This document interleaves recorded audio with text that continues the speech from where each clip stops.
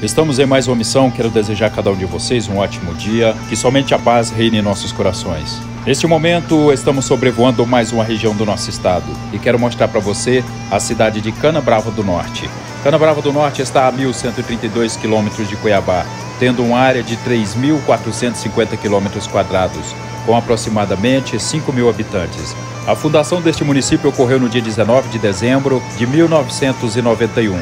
Seus municípios vizinhos são Porto Alegre do Norte, Luciara, São Félix do Araguaia e São José do Xingu. Sua economia se baseia na agricultura e também na pecuária. Como você vai acompanhando nas imagens, você vê bastante pastagens aí do lado. A pecuária é muito forte nessa região. Você vê também ali do lado direito da imagem, você vê um grande lago, onde é uma área de lazer para os moradores dessa cidade e os trabalhadores também da região, os moradores das fazendas que vêm passar o seu final de semana e se divertir um pouco. No dia 11 de fevereiro de 2015, houve um tremor de terra de 4,1 graus na escala Richter neste município. De acordo com o relatório do Observatório Sismológico, o sismo foi registrado às 6 horas e 45 minutos, ocasionando leves prejuízos como rachaduras de estruturas em algumas residências, sendo a maioria na área rural deste município. Esse é mais um trabalho do Decola Mato Grosso mostrando as cidades e maravilhas do nosso estado.